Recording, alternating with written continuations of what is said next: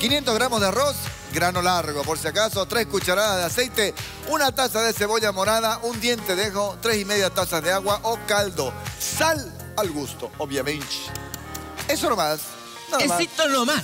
Simple y sencillo. Vamos para acá. Vamos a hacer un sofrito allá, clásico. Tengamos una sartén o una ollita profunda Ya. para... Voy a poner por acá, por allá, por favor, Chichi. It's all music. Vamos a ponerle aceite. El que tenga en casa, de eso no afecta, ¿no? Paralelamente estamos hirviendo un poquito de agua. un poco de agua. Claro. Hay gente que empieza con el agua fría, por ejemplo, pero hace que te hay un choque de calor o hay un ¡Papá! choque de boca, un ¡Oh, choque de por Dios, calor se viene el frío! Sí, no. y bueno, y, y baja la temperatura, entonces incluso te puedes quemar si el agua está muy fría, entonces Claro.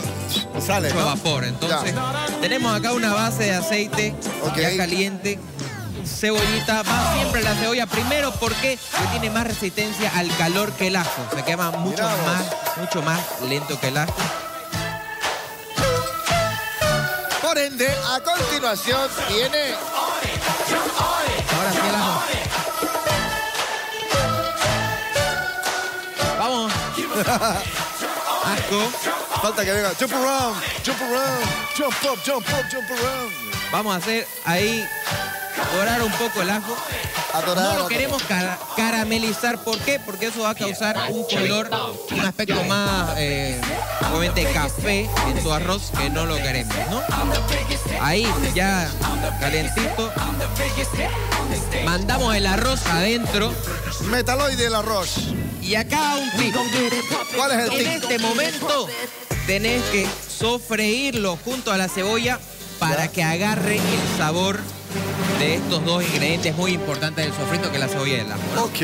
Entonces, en la parte de la tostada también hay que estar atento de que no se queme ya ahí, Exacto. ¿no? Constante movimiento.